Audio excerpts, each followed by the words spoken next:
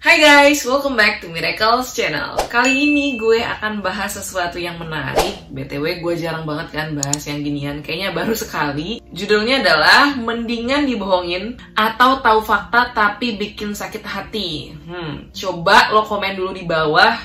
Lo mendingan milih yang mana? Dibohongin atau tahu fakta tapi sakit hati? Nah jadi waktu itu gue bikin poll di IG story. Ini pollnya Nah, hasilnya 86% menjawab B, lebih memilih dengan faktanya dan sakit hati daripada dibohongin.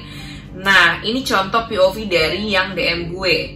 Lebih sakit lagi kalau harus nyari tahu sendiri, gitu katanya.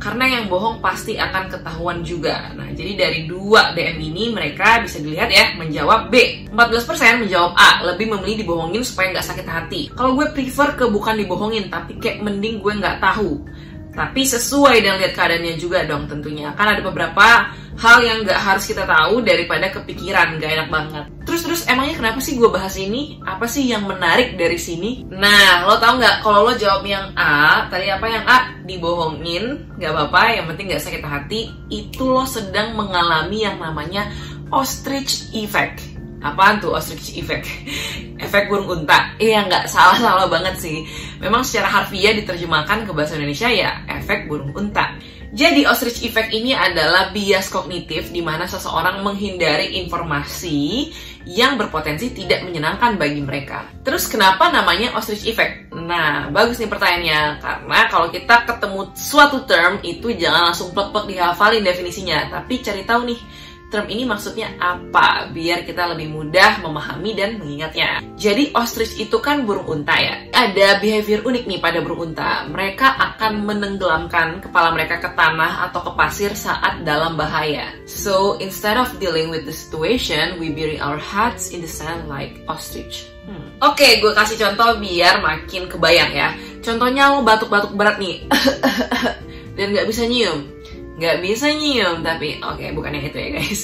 Nggak bisa nyium aroma berhari-hari tapi lo nggak mau nih periksa ke dokter. Karena lo lebih nyaman merasa sehat-sehat aja daripada takut overthinking kalau ternyata lo positif COVID-19 pernah ngerasain gini nggak? Atau mungkin orang di sekitar lo pernah mengalami hal kayak gini? Iya gue juga punya pengalaman sih. Tapi ya udah next. Contoh yang kedua ya lo curiga pacar lo selingkuh karena dia nggak sesuit yang dulu gitu nggak seromantis yang dulu. Terus juga dia balas chatnya lama banget berjam-jam gak dibalas-balas. Mungkin ditinggalin berhari-hari juga. Tapi pada kasus ini lo nggak mau konfront atau nanya langsung ke dia what happened to us? gitu cie lah jadi lo lebih nyaman buat diem aja ya daripada tahu faktanya. Kalau ternyata mungkin aja ketika lo tanya kayak gitu nanti dia bilang iya sebenarnya aku deket sama cewek lain. Wah oh, sakit hati gak sih jadi lo memilih untuk merasa nyaman aja dengan tidak tahu. Ya mungkin biar nggak kehilangan yang antar jemput kali ya. Canda guys. Oke oke oke oke. Lanjut lanjut lanjut. Nah terus kita harus apa? Nah sebelum bisa menjawab pertanyaan ini lo harus tahu dulu nih bahwa ostrich effect ini merugikan. Karena kalau kita nggak tahu nih realitanya gimana, karena ada informasi yang kita lewatkan, keputusan yang kita ambil jadi nggak optimal. Memang nggak semua informasi itu sifatnya signifikan terhadap pengambilan keputusan kita. Tapi kalau ada informasi penting yang kita lewatkan, gimana? Bahaya dong. Contohnya tadi nih, ketika lo sakit tapi lo nggak mau periksa ke dokter karena takut overthink kalau ternyata lo didiagnosis TB atau apa gitu penyakit yang mematikan misalnya. Semakin lama lo pergi ke dokter buat periksa, semakin parah dong penyakit lo, ya nggak? Ya udah, berarti makin lama diobatinnya, ya makin prone to death. Oh my god, jangan. Ignoring bad news doesn't make them go away. Ingat guys.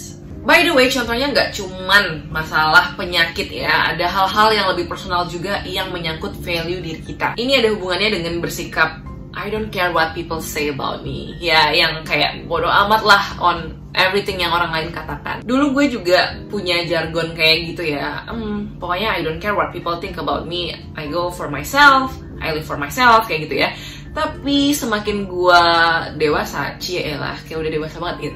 Semakin ke sini gue akhirnya tersadar gitu bahwa gue tinggal di bumi ini gak sendirian. Gue dikelilingin banyak orang dong. Dan gue punya tujuan hidup atau ya turunan-turunan dari tujuan hidup gue di mana tujuan itu melibatkan orang lain. Jadi nggak cuma gue doang nih yang terlibat dalam proses gue mencapai tujuan itu. Ah tujuan gue sederhana pokoknya gue mau bahagia aja lah. Iya lo nggak bisa bahagia sendiri kan? Mungkin bisa tapi nggak bisa seterusnya lo bahagia sendiri. Pasti lo butuh orang-orang yang lo kasihi orang-orang yang lo sayangi untuk bisa sharing kebahagiaan bersama. Nah biar hubungan lo bisa terus terjalin dengan baik dengan orang-orang yang lo sayangin ini kan lo butuh care atau lo butuh peduli apa yang mereka pikirkan tentang lo. Atau nggak mesti tentang lo juga sih ya. Pokoknya apa pun yang mereka pikirkan. Jadi sekarang nggak bisa nih gue nggak peduli sama apa pun gitu. Karena justru I have to care. Terus ada yang bilang ya boleh sih dengerin tapi jangan dengerin yang negatif.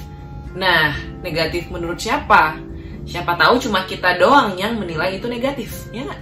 By the way, Basway, salah satu contoh ostrich effect juga ketika teman lo bilang, eh, kayaknya kulit lo keringan deh tapi lo anggap itu julid dan akhirnya jadi bodoh amat terhadap itu. Padahal bisa jadi emang kulit kita kering gitu kan. Dan ketika kita bodoh amat sama kata teman kita tadi, akhirnya kita sendiri yang rugi karena kulit kita jadi nggak sehat. Nah, biar kulit nggak kering dan ternutrisi dengan baik, lo bisa coba rangkaian Scarlet Whitening. Urutannya mulai dari body scrub, shower scrub, dan body lotion. Ini gue lagi pakai body scrub kopi yang mengandung glutathione serta vitamin E. Manfaatnya mengangkat sel kulit mati dan mencerahkan kulit. Lanjut, gue pakai shower scrub atau sabun yang kopi juga karena biar matching gitu sama lulurnya. Hehe. BTW shower scrub kopi ini itu beda ya guys sama varian Scarlet Whitening yang lainnya karena dia mengandung kolagen. Jadi uh, manfaatnya untuk mengangkat sisa kotoran yang menempel di kulit. Pokoknya setelah pakai body scrub dan shower scrubnya kulit tuh terasa lebih lembut dan halus. Nah setelah mandi gue pakai body lotion Jolie biar wangi dan kulit nggak kering. Jadi gue pakai Scarlet Whitening ini bukan untuk memutihkan guys, jadi untuk menutrisi kulit gue biar nggak kering dan biar lembab juga. Nah, harganya setiap item 75.000. Kalian bisa beli di official store Scarlet Whitening di e-commerce favorit kalian. Oke, sekian pembahasan gue mengenai ostrich effect. Coba tolong lo komen di bawah apa aja yang lo pelajari dari video ini. Komen lo akan sangat berguna, guys. Jangan lupa follow Instagram dan TikTok gue at Miracle See you guys on my next video. Bye!